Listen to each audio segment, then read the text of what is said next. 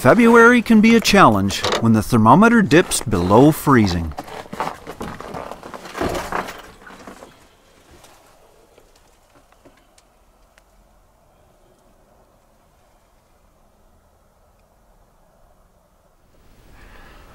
Well, it's another cold day, middle of winter. No surprise, this is Canada, and this is a super cold winter.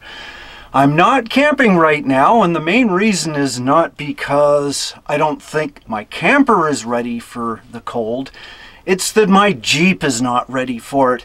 If I go out in the woods alone and it gets down to minus 30, minus 40, then uh, chances are my Jeep will not start because I won't be able to heat the block and keep the battery charged. It just uses far too much energy for that. And since nobody's going to come out to get me, then I think I'm just going to wait till it's just a little warmer. But it doesn't mean I can't experiment in the meantime. And one thing I've been experimenting with for some time is how to heat a little camper like this. And you've probably seen in my past videos, I've tried many ways. I mean, if you've got a, uh, a plug-in, if you're at an RV place, it's great. You can use like a space heater or maybe two, and I've done that in the past and it's worked well. Unfortunately, when you're off the grid, those take far too much energy and uh, it just drains your battery. Those are like 1500 watts. You might need like, like at least 2000 watts when it's really cold out.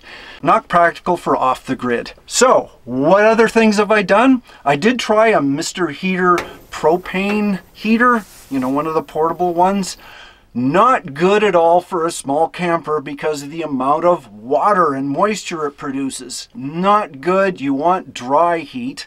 I do have a propane furnace and it does work. However, several reasons I don't use it when it's really cold as well. First off, it does use electricity.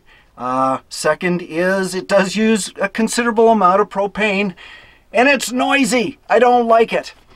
So there's, that's why I went to the diesel alternative a few videos ago, but I just am not really happy with it. To me, it needs a lot more than was really expected. And not only that, I just don't think I'd get a good night's sleep with a diesel heater. So I, I think if anybody's seen my videos in the past, they know where I'm going with this. And that is the other alternative that I've been hinting at for so long. My good old homemade wood stove. It did me well in my older trailer. Because not only did it heat, but it also baked, fried, cooked, and boiled, both inside and outdoors. But I have not used this for well over a year. And I haven't really changed anything with it. It's, it's a little rusty. Uh, the only thing I did was there was a secondary burn pipe in here and I plugged that up. It's not needed. Uh, pellets are a clean burn, so uh, there was no advantage to it. Keep it sealed up. But yeah, I've got that. The other reason I haven't used the wood stove in the fiberglass trailer is because I needed parts. In the original design, when I used it with Abner, I, uh, I had a roll-up titanium stovepipe, but I can't really use that in this trailer. I, I needed a real stovepipe, and uh, unfortunately, I looked all over and I couldn't get anything in Canada at all. I had to order things from the States. And finally, when they arrived, I got them, only to discover that it's actually made in Canada. I don't know. That's just the way the world operates these days. And there's one other piece of the puzzle. Although I may find an area to put the stove, I need to put the stove on something and it has to be something that's going to protect the area around it. In my last camper, I just had it sitting on the original propane stovetop. And so I came up with a neat idea. This is an old camp stove um, that doesn't work. I got it like really cheap. And uh, I think I can make this into an actual heat shield. That's my plan. Let's see if I can put it all together. But I've got the parts. Now, all I have to figure out is a location. Now, I do not want to put a hole in my roof, and where the vent is, is a bad location because it's right in the central area of where I walk. That's not good. So I've got to find another area that maybe would be suitable for a wood stove.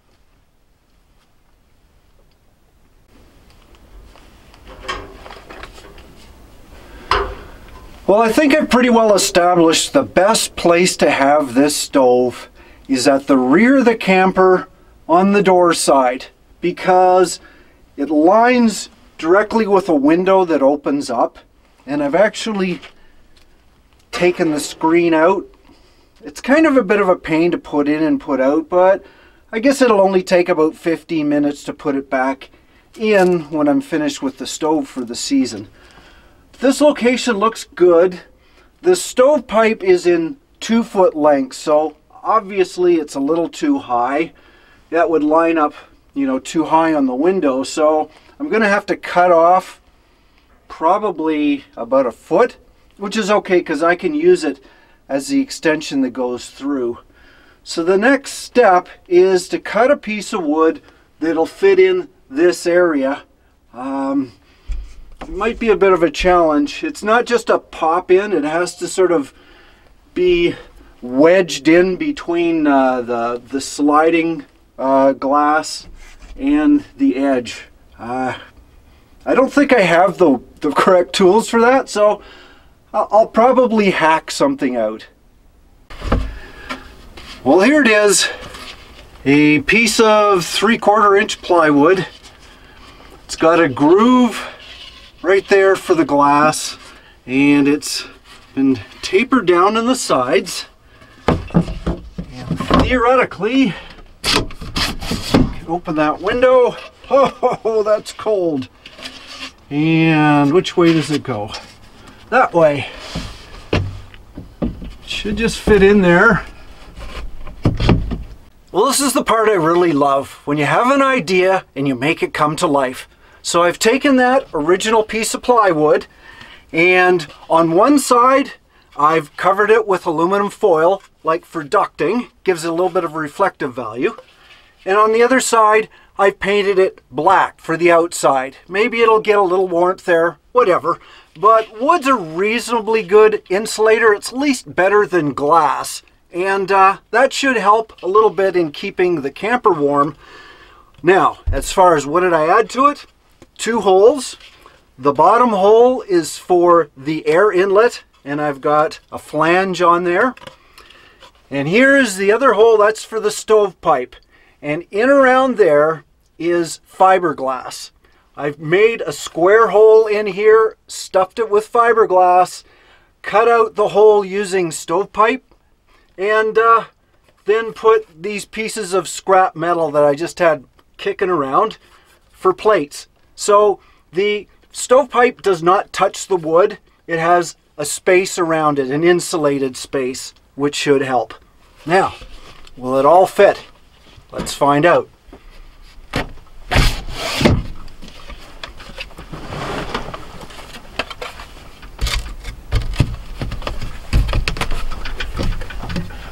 Sorry, I shook you up a little bit, didn't I? It does fit. Well, now, in the meantime, while I'm not putting the uh, stove in place for a little bit of insulation, I've got little bits of pool noodle, which I can just put in there until I'm ready to use it. Well, although that fits well, it still leaves me with an issue, and that's a gap here and a gap here, which is only a single pane of glass behind it, and there's actually holes there. So what do I use? Good old pool noodle.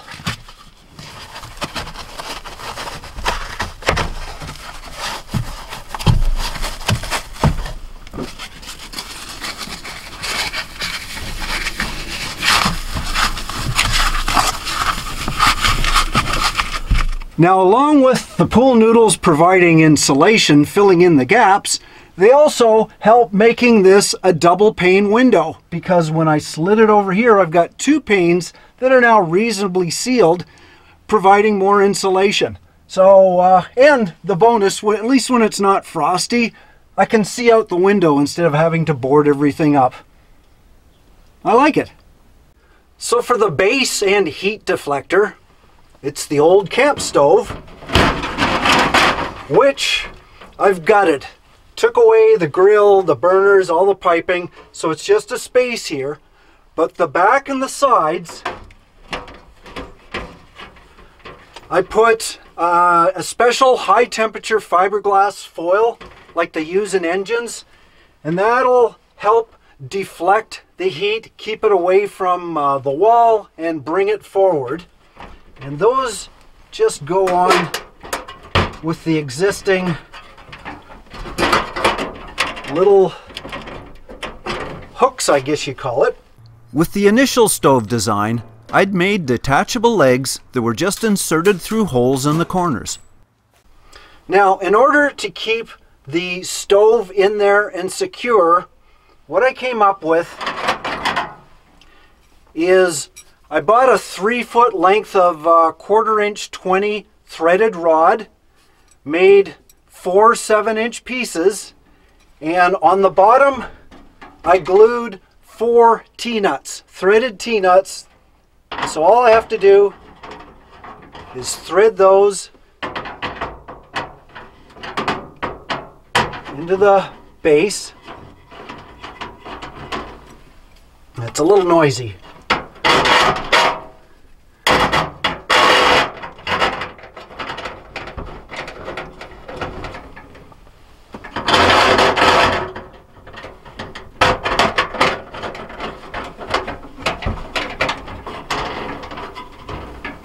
Just like that. And then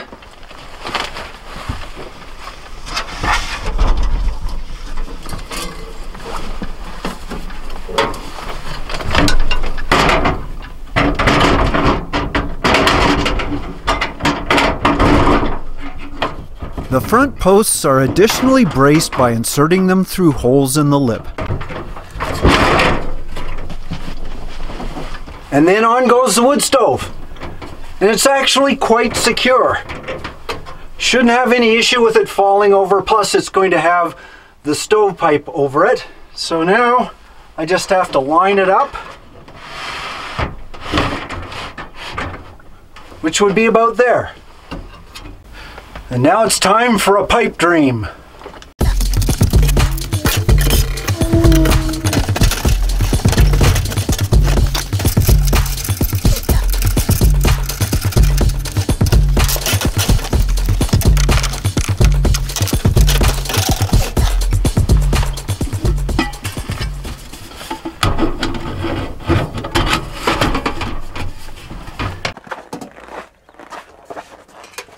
Installing the spark arrestor cap was a lot easier than the last trailer.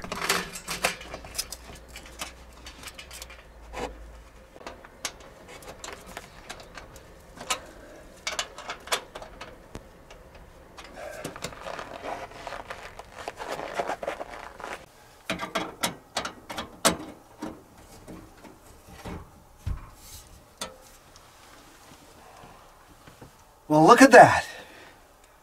And Dennis is back in the house.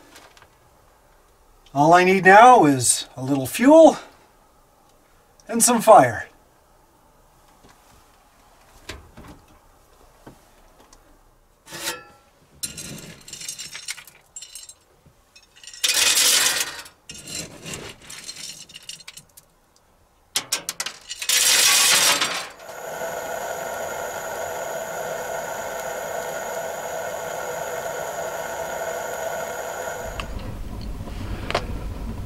Whoa.